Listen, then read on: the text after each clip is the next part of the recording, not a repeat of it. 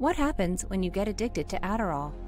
Adderall is a strong stimulant that can lead to serious and potentially deadly side effects. Overdose is one of the worst side effects of Adderall abuse.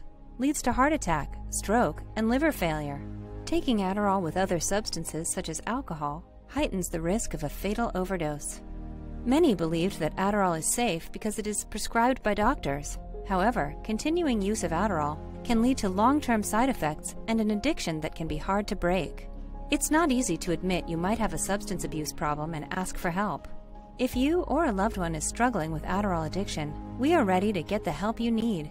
You deserve our treatment centers. We are here for you. Does someone you love suffer from drug addiction?